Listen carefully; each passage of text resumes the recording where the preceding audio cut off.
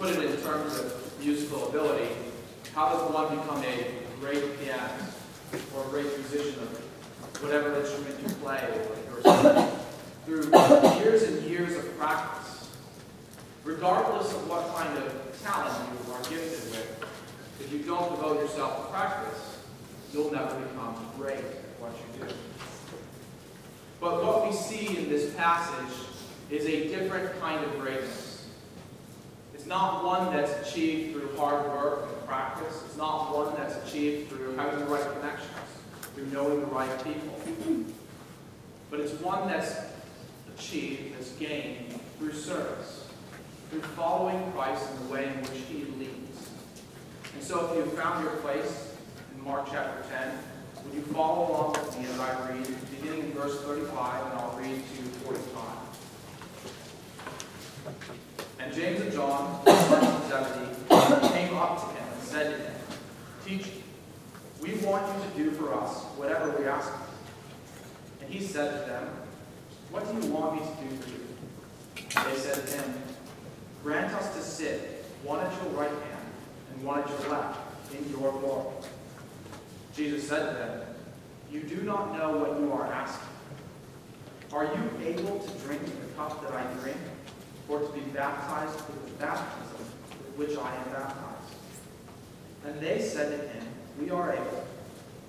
And Jesus said to them, The cup that I drink, you will drink, and with the baptism with which I am baptized, you will be baptized. But to sit at my right hand or at my left is not mine to grant but it is for those for whom it has been prepared. And when the ten heard it, they began to be indignant at James and John. And Jesus called them to him and said to them, You know that those who are considered rulers of the Gentiles lord it over them, and their great ones exercise authority over them. But it shall not be so among you. But whoever would be great among you must be your servant and whoever would be first among you must be slave of all. For even the Son of Man came not to be served, to serve, and to give his life as a ransom for men. As we open this passage, I think it would be good for us to situate it within the context of Mark's Gospel and understand what's going on in the bigger picture. Some of you have been reading through Mark's Gospel this week as you found time, and, and it can be easy to look at the gospel and think it's just a loose collection of, of different narratives that Mark has pieced together that ultimately leads to the cross and the resurrection. But what's the relationship between all the parts? That's a bit mysterious. So I want to help us to understand where this fits within the larger gospel. Mark's gospel can be separated into two sections, really. The first section ends about chapter 8, verse 26. And it mainly shows Jesus' authority. You see him healing people of illnesses. You also see him forgiving people of sins. You see him casting out demons, but you also see him teaching with authority that is not rivaled by the scribes and Pharisees. We see those same kind of things in the second half of the gospel, but the focus shifts away from those to his character as a suffering servant. And so Jesus constantly reminds his disciples that what he's about to do is go to Jerusalem and suffer and die, and after three days be raised.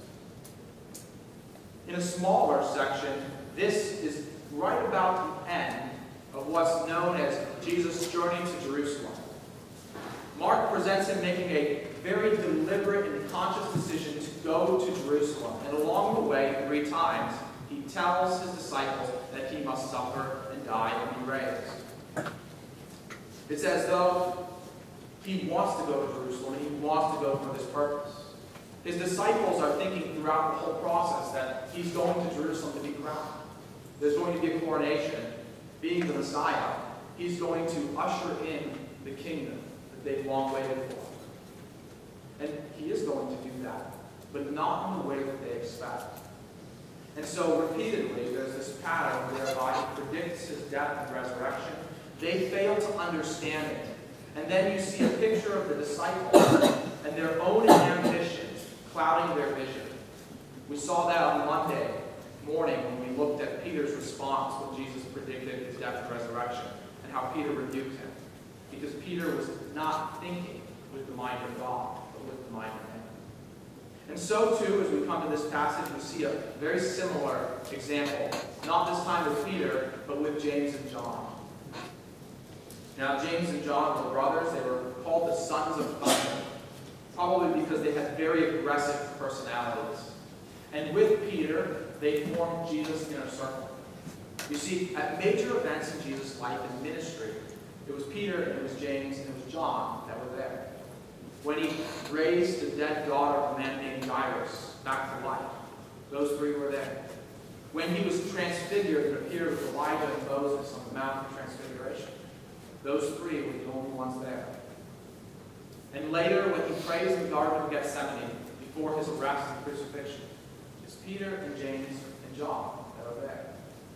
And so it seems natural that these two brothers come to Jesus and vie for the place of privilege in his kingdom. So they come and they ask for what's called a carte blanche request. We're, we're going to ask you something, Jesus, but we're not going to tell you what it is until you agree to it. How would you respond if someone came to you and said, I'd like you to do something for me, but first agree and then I'll ask you? You probably would not be very cooperative, I imagine. Well, Jesus is not cooperating with their request either. You tell me first, essentially. What do you want me to do for you? They said to him, Grant us to sit, one at your right hand, one at your left in your glory. This passage is full of subtle irony. There's a lot here that doesn't meet that doesn't meet the eye. There's more than meets the eye. You see, they're using this language in your glory as though it refers to his crowning moment, his crowning achievement. But for Jesus, his glorification is his crucifixion. When he's lifted up on the cross, that's when he's coming into his glory. So he says, You don't know what you're asking. And asks them, Are you able to drink the cup that I drink? Now, the idea of drinking a cup was commonly used as a metaphor for suffering. In the Old Testament, when Israel rebelled against God, it was said by the prophets that they would drink the cup of God's wrath for their rebellion and their sin. At other times, people were said to drink a cup of suffering. This is the way in which Jesus is using the phrase, yet they still are thinking of a kind of royal cup, kind of royal privilege. He says again, Are you able to be baptized with the baptism with which I am baptized? When we think about this term, it, it immediately draws our minds to baptism as, as we see it in our churches. Now, different people, different churches practice it in different ways. But however it's practiced, in Colossians, it tells us that what it symbolizes is our death and resurrection with Christ. So if your church happens to immerse someone in water and bring them back up, the idea is one that they've gone down into the grave with Christ, and they've come up a new creation. Not that baptism affects that change, but it depicts what God has done in us, uniting us with Christ and making us new as though we've died and been raised with him. And this is the way that Jesus is using this term that are you able to be baptized with the baptism with which I am baptized? In other words, are you able to die the death that I'm about to die? Be buried in graves as I am? Their answer, we are able, betrays the fact that they still don't get what he's talking about. Now, in one sense, the answer is no. Only Christ, as we'll see as we move forward in this passage, only Christ could die that death. Only Christ could receive that cup, could be baptized with that baptism. But in another sense, they will drink They will receive that baptism. And so Jesus says, The cup that I drink, you will drink. And with the baptism with which I am baptized, you will be baptized. It's helpful to remember that if we look at the book of Acts, in Acts chapter 12, we find that James, this very James, is the first apostle that died a martyr's death. He was put to death by the sword. And we have no record of John dying a similar death, but certainly he suffered during the course of his ministry. And we know that in 1 John chapter 3, the apostle tells us, shows us that he's learned a lesson that he did not quite understand at that moment. In chapter 3 of 1 John, the apostle writes this. Verse 16. By this we know love, that he laid down his life for us. We ought to lay down our lives for the brothers. This very John wrote those words, but at this moment he has not yet understood. He has not yet understood what Jesus is teaching. They will come to understand.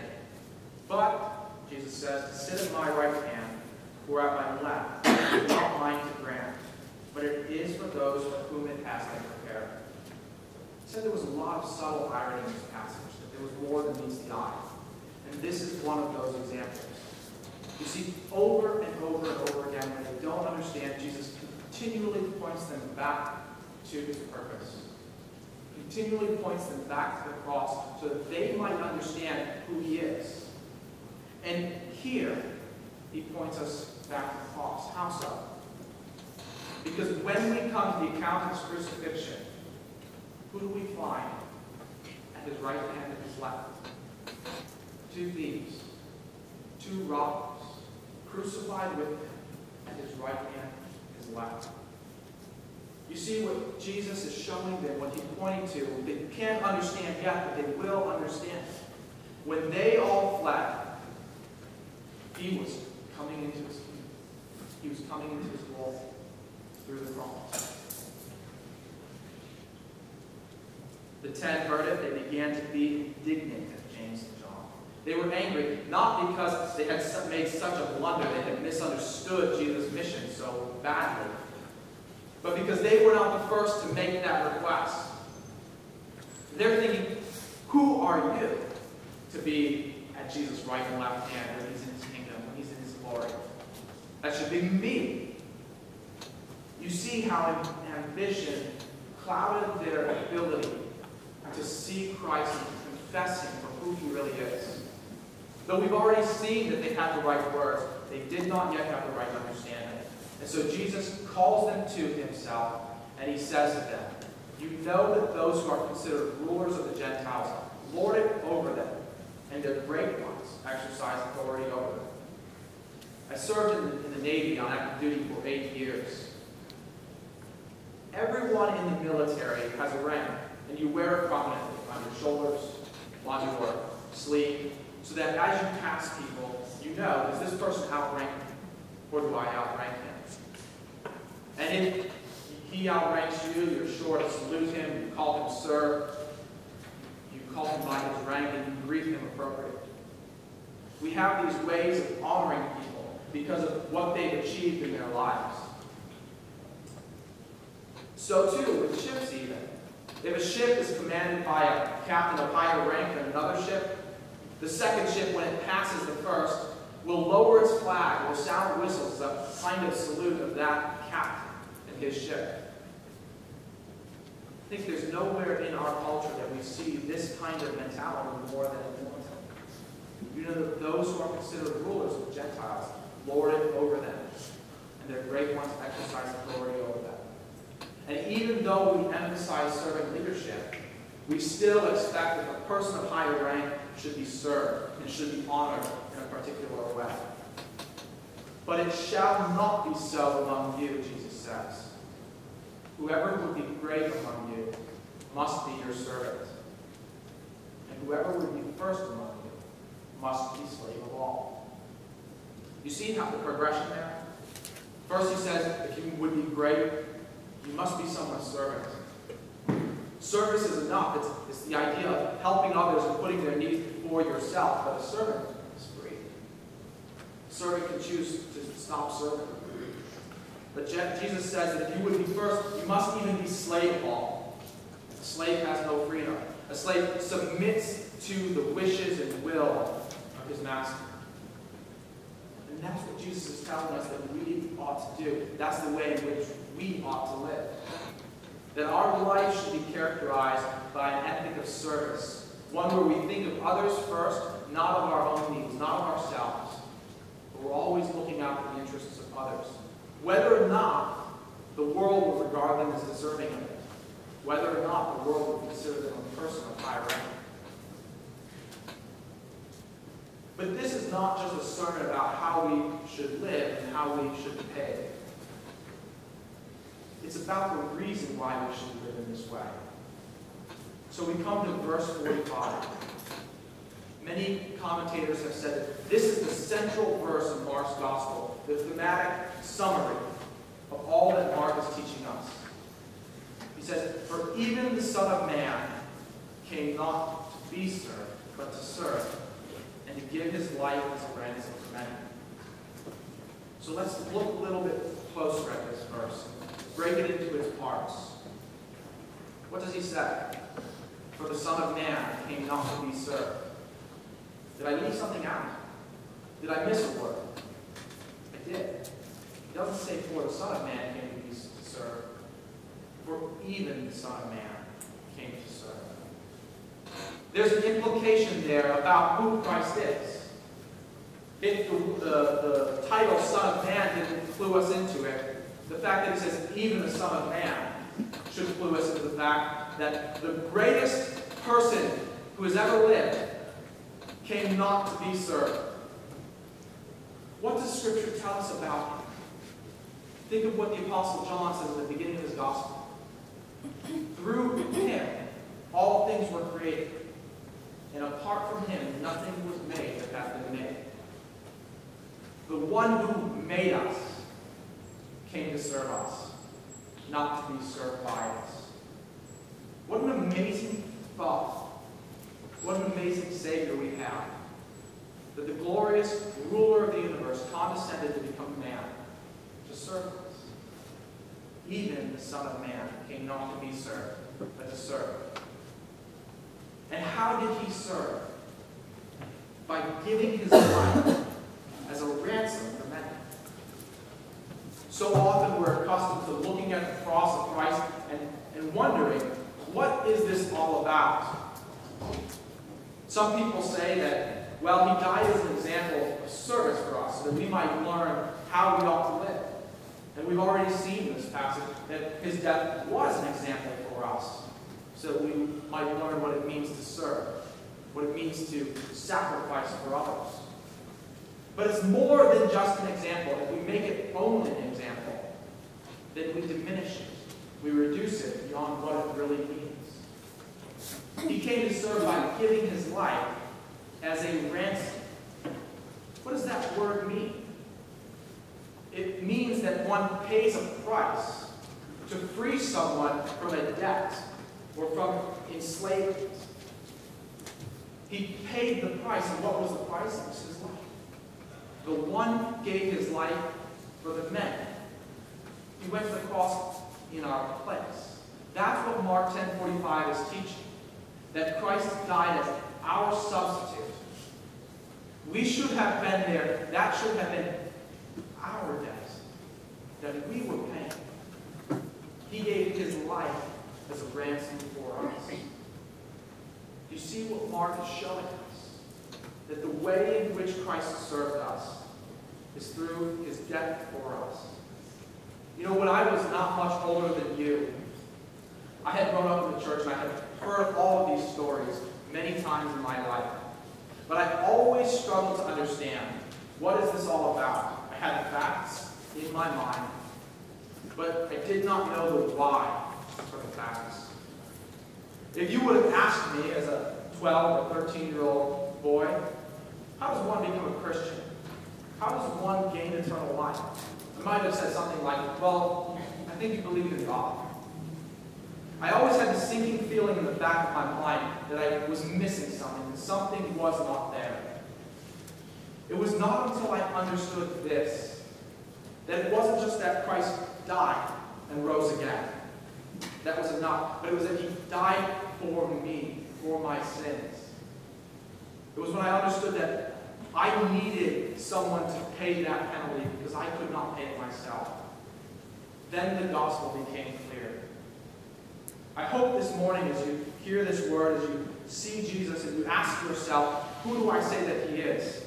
That this becomes clear for you and you can recognize that it's just not about historical facts, it's not just not about his example, and not just about trying to be good.